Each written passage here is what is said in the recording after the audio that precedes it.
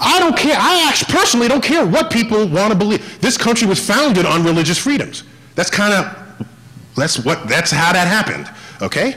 And what enabled the religious freedoms is that our Constitution makes no mention of God at all, which means nobody's God reigns supreme over anybody else's. And therein is the religious freedom that attracted all these waves of immigrants for centuries.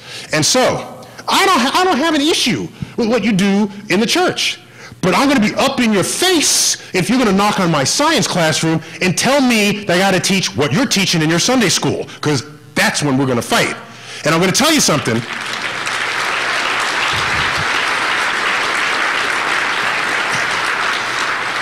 There's no tradition of scientists knocking down the Sunday school door, telling the preacher, that might not necessarily be true. That's never happened. There are no scientists picketing out front of churches.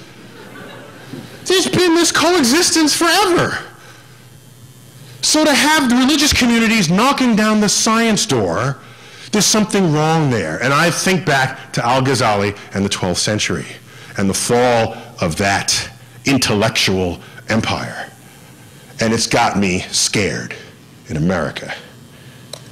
I wrote, do you remember that case in Jersey where this middle school kid, uh, forgive me, I forgot his name, I met him, Matthew LaClair, do you remember, remember this?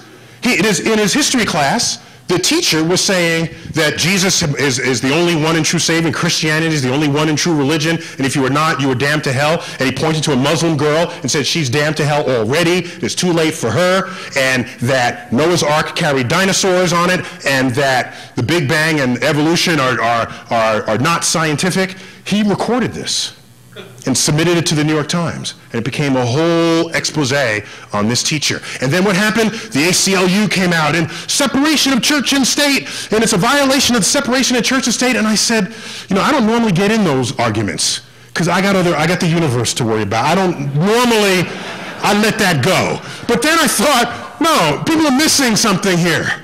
It's not a, it's not a case of a separation of church and state. It's not. It's not. Okay? I looked at the comments and the transcript. I ignored the part about Jesus being your Savior. I ignored the part about Christianity being the one and tr true religion.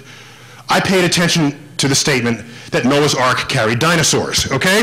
And so I said, I wrote a letter to the editor of the New York Times that they printed, and I will read to you. To the editor, People cited violation of the First Amendment when a New Jersey school teacher asserted that evolution and the Big Bang are not scientific and that Noah's Ark carried dinosaurs.